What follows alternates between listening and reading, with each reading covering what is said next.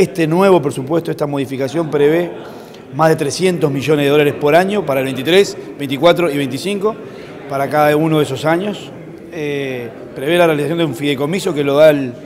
artículo 104 del presupuesto que aprobamos hace dos años, eh, que habla justamente de la introducción de fideicomiso para obras de infraestructura,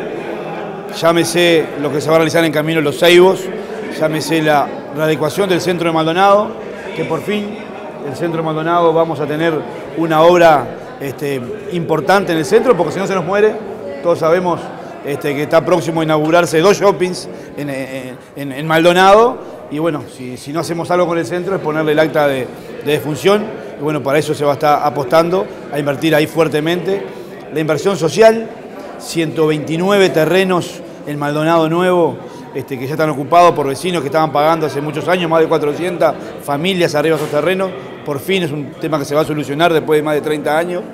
Este, la compra de, fraccionamientos para vender terrenos baratos a los vecinos de Maldonado, un reclamo viejo de todo que este gobierno viene haciendo hace muchos años, también está incluido en este, en este proyecto y en esta, esta modificación presupuestal y fideicomiso.